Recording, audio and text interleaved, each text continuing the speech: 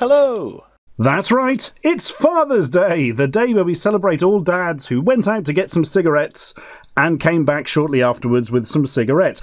Yes, one of the things we like to do on Father's Day is give our dads an exciting and hilarious gift, sort of based around weird negative stereotypes around them. I don't know. I don't make up these holidays. But thank God for Poundland, who have uh, rode in like the white knights they are to provide said to- novelty tats for only one pound. And therefore, you can like spend some money that's left over on things your dad might actually want. Anyway, let's see what hilarious novelty gifts they've got then. Well, we'll begin with what will your dad do? Maybe he doesn't know what to do with his life. Maybe he needs some giant novelty dice. Yes, for the most magnificent men, decision dice. Uh, that's quite clever for the most magnificent men. You see, they don't say it's explicitly Father's Day, so then they can keep it in stock a lot longer. Clever. So, yes, um, I should point out these are all from Poundland because Pound World didn't have much of interest in, and frankly, uh, they're about to go bust by the looks of it. Which is a shame because, you know, the more pound shops the merrier, I suppose, but one cannot simply stand up to the might of Poundland and expect to live. Plus, a whole world of Pound? I mean, they're spreading their resources too thin. Keep it to a land. Anyway, let's see what happens if we roll these giant, very obviously moulded in two parts, sort of foam squeezy but feeling quite cheap smelling of must, basically. Um, dice. Hmm. Well, they. Oh, I was going to say, well, they have been printed fairly well, but I'm not sure about that. So, Dad, what should you do? Go to pub, but when? Now. There we are. Go to pub now, and you can avoid the rest of these shit gifts from your thoughtless and totally, totally evil children. Um, next, go on. What else should he be doing? He should chill out but when should he chill out, oh mighty dice? He should chill out now. These are, very immediate dice. So go to the pub and chill out. That sounds fair enough. Go to Winchester, have a pint, wait for it all to blow over. Next up, eat out. Ooh, mum's going to enjoy that. And now. we can't do all these things now. Ah, wait. There we are. Now you can do it Monday. Well, I, I can't believe that worked quite as well as I thought it would. Um, so the options are go to pub, eat out, go to cinema, play golf, chill out, and bike ride. But when could you perform such tasks? Now, next week, next Saturday, today, tonight, tomorrow. Can I get one that isn't now? Yes. What's Dad doing next week? Going to the pub. Well, everyone, Dad's an alcoholic who can't make his own decisions. Well, that's a, that's a positive start, isn't it? Not to worry, he can drink some tea in order to make him more awake. Maybe even some coffee in his hilarious Farter of the Year. I, I mean, father mug. Yes, what we got so far. Dads don't really know what they're doing, and dads fart a lot. Nice. Oh, it's a bit of a off porcelain here. Usually Poundland mugs are very solid because you know a pound is a decent price to pay for a mug, really. Um, so you can expect something decent. Look, you can put it in the dishwasher. It's microwave safe, and it's. I thought that meant dishwasher safe. There's another one that says dishwasher safe. Hmm. But wash before first use, which is always a good plan. Oh, and it's from the Magnificent Men Company, which I think is indeed an imprint of Poundland. But yeah, oh, printing's not great on that bit. This side's better. Oh, no, that's a bit iffy as well. Hmm. Hang on. Hang on. No, I take that back. It's deliberate because the little bits that are missing, look, on the old, uh, off the uh, end of year there, are the same that way round. Oh, it's deliberately distressed style. Oh, Poundland, you're so cool. I didn't even realise. But yeah, I mean, it's a functional mug, but yeah, that's that's not a very funny joke, is it? Anyway, that's enough scatological stuff until we look at the warning cone. Uh, all right, let's get it out then. Uh, danger! Toxic gases! Give it 10 minutes. Dun, dun, dun. Yep, that, that's a little cone. That, um, yeah, im- implies dads do smelly shits. That That's a, a hilarious thing for, for the entire world, isn't it? Great. Great. I swear to God, by the way, I've seen one of these for like six quid somewhere, and it was like remarkably similar. So, um, yeah, Uh, yeah, can we peel this off and use it for like a prop for Barshens or something? Yes, quite possibly, although it could take several years. Well, that's a thing. Blimey. Well, good job, dads. Don't nick your food. Oh, wait. Telescopic fork. Food thief. Wait for it. Whoop. Now, that really does telescope, actually. And you can now nick the chips from somebody else's plate. That is quite actually impressively long, I've got to say. It's also quite, uh, for a pound, it's got a fair bit of uh, strength to it as well. Not entirely sure how effective it would be of stealing food from somebody else's plate, but I think it would be quite effective at such things. It's one whistle noise. Yeah, well, so um, when your dad's not farting, shitting, and wondering what to do and nicking your food, he could also be watching the game. The game will probably be football in this country. It's men's socks, but what do they say on the bottoms? Do not disturb. The game is on. See, it could have said the game is afoot. You see, it had been a hilarious joke, but unfortunately, the socks would only have been useful for Sherlock Holmes. Yeah, mm, so that, that's what they would look like in uh, when being modelled. Do not disturb. The game is on.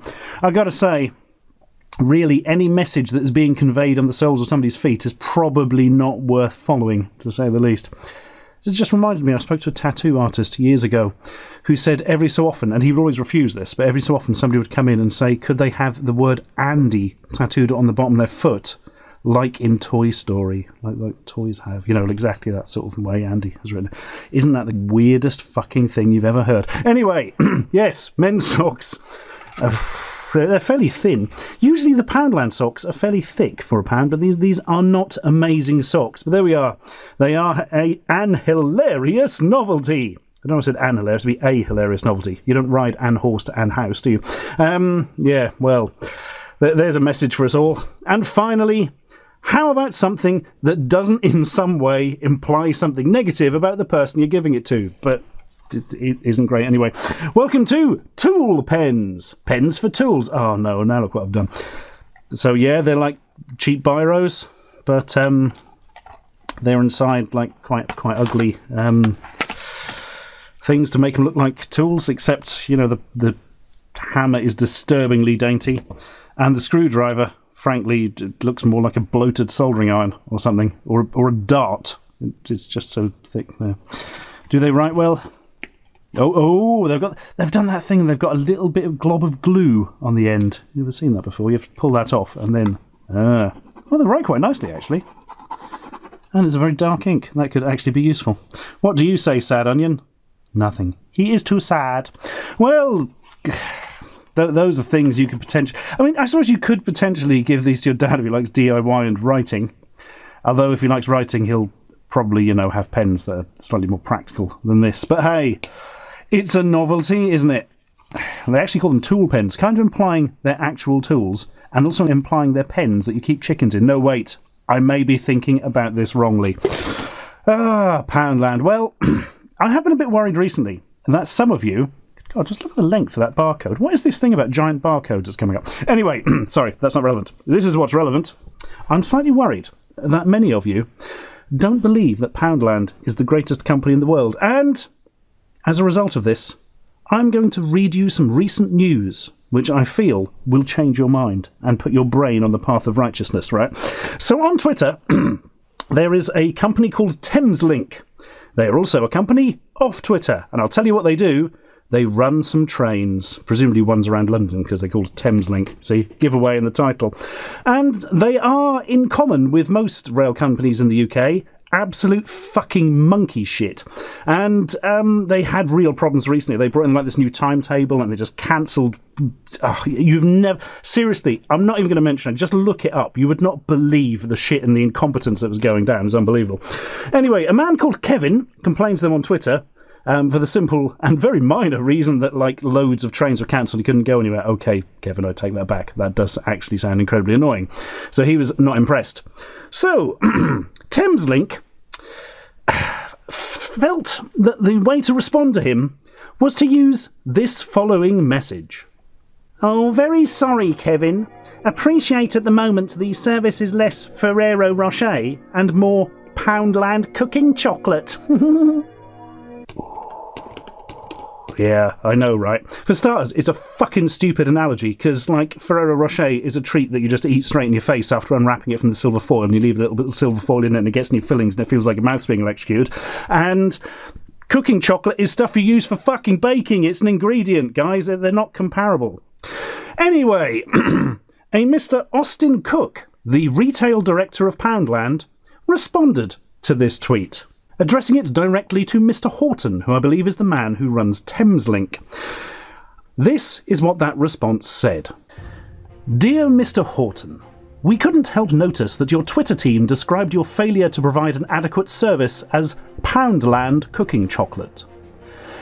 Aside from the breach of our trademark, we think you're taking the chocolate biscuit. In the past week, on the introduction of the new timetables, your rail company has 1 cancelled hundreds of services, 2. blamed a dog on the line for delays, and 3. secretly cancelled services rather than have to announce they're cancelled. Frankly, you have no right to use our name to describe poor service. We served 8 million shoppers last week and didn't have to close any store due to leaves on the roof, the wrong kind of rain, or a shortage of managers. In fact, our Welshpool store flooded, and our store colleague stood at the entrance to help customers get their shopping so we stayed open. We think we have a pretty good idea about what great customer service is compared to most rail companies.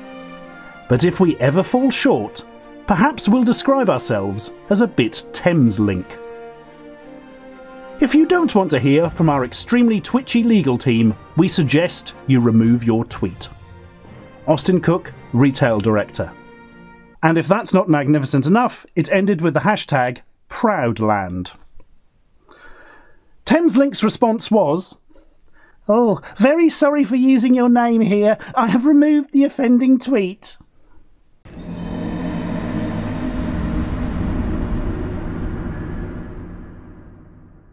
If you are not standing and saluting Poundland by now, then you are officially dead. That may be one of the greatest Twitter exchanges ever. Ah, dearie me, Poundland. Call me, Poundland. Give me a bell. We'll, we'll work out some Ashens action figures or something. It'll be the deal of the century. Actually, I wouldn't even bother calling me. Just stick out some figures called sofa review idiots that look a bit like me or something. I won't see if it's funny.